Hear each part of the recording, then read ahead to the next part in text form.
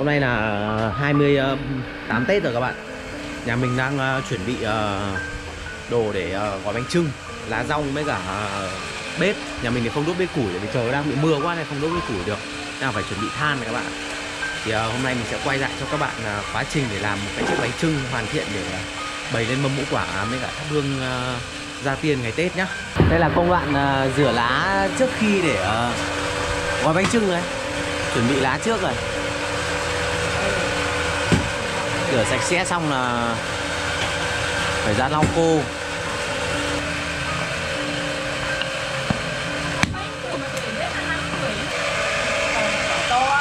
To ấy đẹp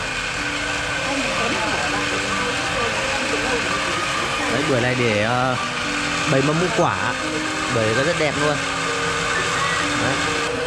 Ai, công đoạn chuẩn bị uh, cũng tương đối rồi còn uh, ngâm đỗ nữa. Bà ấy đỗ ở trong này hả bà? Đây à? Đây đỗ đây Bây giờ là Ôi, hai lồi đỗ Cái này chỉ nấu thôi bà nhỉ? Tí nữa thổi đỗ này trước Có phải cho thêm gì vào không chú? Thôi, không được. Cho nó nóng. Còn là đốt củi nữa thôi Nó ướt quá.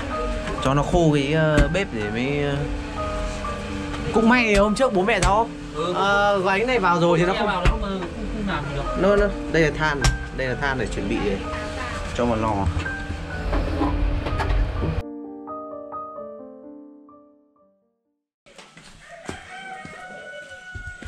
Ừ, gà gáy to thế nhỉ?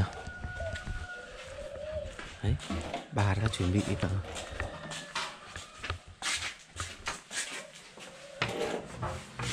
tí nữa gói luôn hả bà?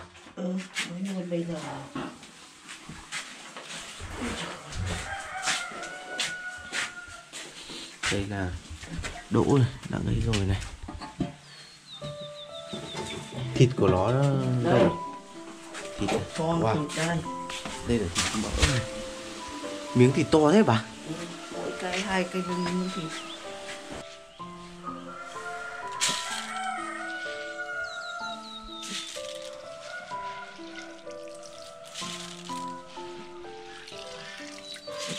Cái này khoảng tầm bao cái hả mẹ tầm ba cái.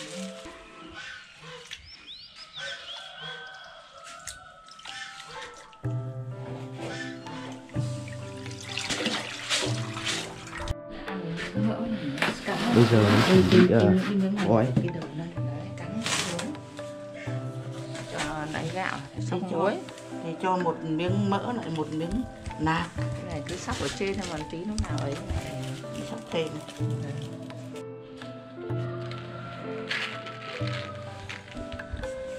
một bát gạo xong bắt đầu một bát đỗ hai miệng bát gạo, một miệng ở trên nữa.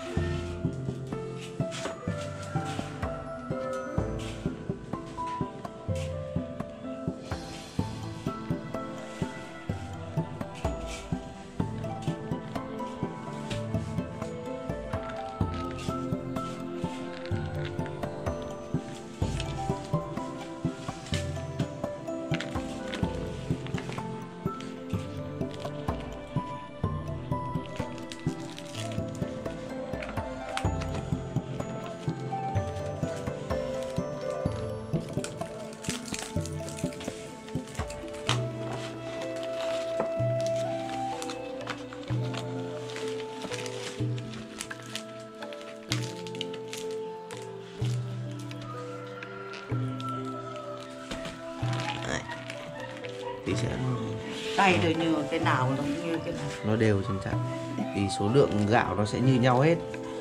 Đều là hai miệng bát à hai miệng bát gạo uh, lếp với cả một miệng bát gạo à một Với đỗ một bát đậu. Một bát đậu với cả hai miếng thịt. Nó đều như nhau hết. Được hai cái. À, cái lá dưới, cái lá lá dưới cuốn tất. không Đấy, Ôi, thế. cái này cứ cuộn cái lá trên đã.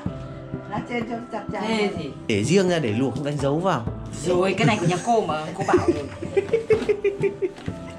Cô gói hôm nay cô gói được cái nào cô lấy đi Thế phải tập tập gói. Ở cháu tưởng các cô phải biết gói hết rồi.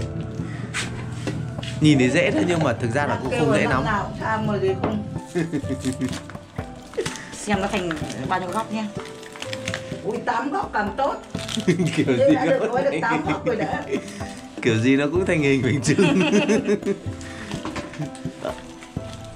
gì nó cũng sẽ thành hình bánh trưng. Đấy, Một cái lạt nữa cô Cô có lạt chưa? Quay hướng kia bóc cô ạ. cái, cái lạt phải quay hướng kia ở đấy đúng không? bóc ra đó là cái bánh trưng. Cái này phải giọng chả cần đánh dấu. Tại vì nhìn nó cũng đã biết rồi. biết ngay rồi. Không cần đánh dấu.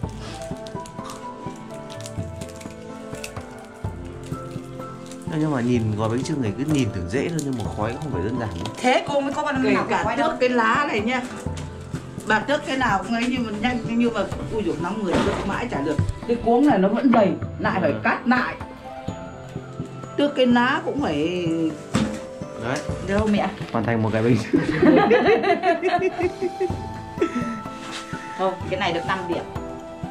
Nói chung là cũng vẫn thành hình bánh trưng rồi, vẫn được. Là được được. Vẫn thành hình bánh trưng Nhìn nếu mà vứt cả vào đấy thì thôi gọi chả gói đâu. Phí cả bánh à. Thế đằng nào chả ăn Phí đi đâu, có vứt đi đâu đâu mà sợ? Không, như là bánh đâu? Sao? Xấu. Bây giờ là gần xong rồi. Bây giờ chờ lốt để cho bà với cả mọi người gói lốt bánh xong rồi xếp vào à, vào trong à, lồi bánh trưng là xong. Nhà tôi sốt ruột chứ Ừ. Đây, Đây, tí nữa sẽ xếp bánh trưng vào đây. Ngót các cái này ở dưới. Sắp xong rồi. Còn à, Rau quất năm nay quá nhiều. Thấy nhà nào có thế bảo đi cắt quất? Lo, lo cho nó đỡ cháy. Không phải không lấy bưởi không ăn được Gì nào? ừ. Chú chuối của ai? thế ba lấy bưởi lấy chuối rồi mà Còn hôm nay nó đi ôm lắm rồi. cháu này ngã nhá như năm ngoái nhá được cái hụt đây này đứng lùi lại. Nó là bịch khác rồi nó nó lại ừ. Nhớ đấy. Lần này lớn hẳn đi.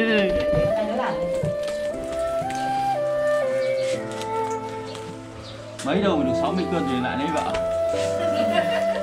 Cứ 60 cân là lấy vợ. Năm nay được ba mấy rồi thì Được 50% Được 50% số cân rồi. Nào, để gần để thấp xuống.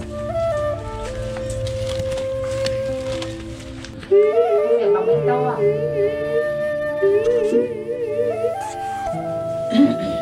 ai không đậu.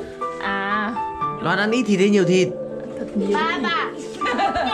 rồi nhiều mà nhiều quá nhiều quá thì Lấy đâu ra? Xong rồi. Đây bánh con này cái này đẹp không? Đấy. Chứ cái trước đẹp Ờ. khen đẹp. Xếp luôn vào là xong. Không vào được cái, cái to quá. Không, không vào được.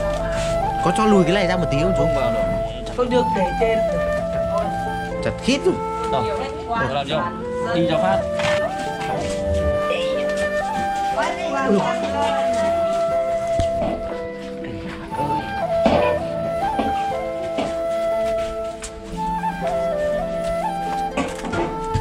Rồi Bây giờ lấy nước đổ lên đâu chú?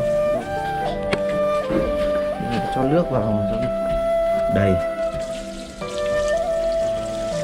Luộc bánh trưng là phải luộc đầy nước chú nhỉ?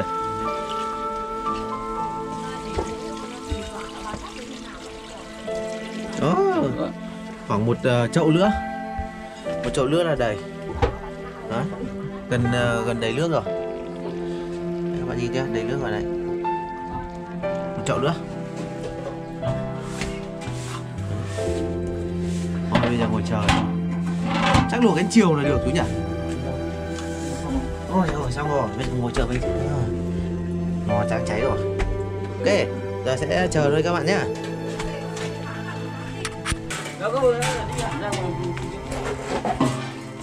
đây để để để ra. Ra ngoài này ra ngoài này ơi. rồi ra ngoài cũng lại phải bê. Rửa lại bê vào. Không, chắc chắc nước. bỏ bánh to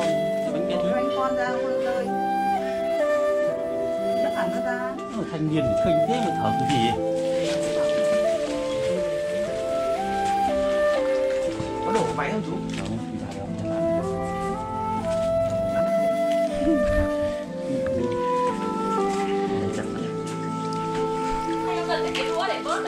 Không, thì phải không, nó bị nó bị móc vào ấy rồi chú ạ.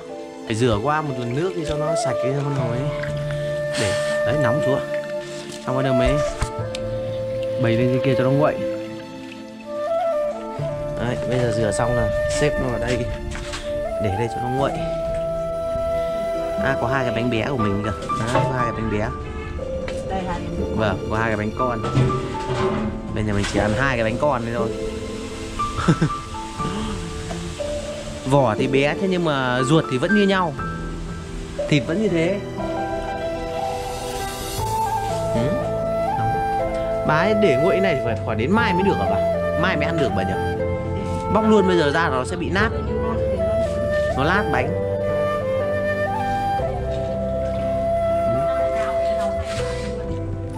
Cái, cái này nó không cần gì.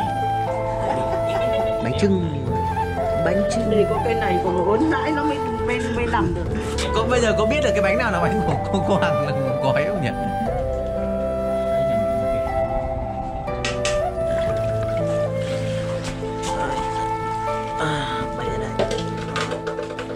hai cái một một tầm một.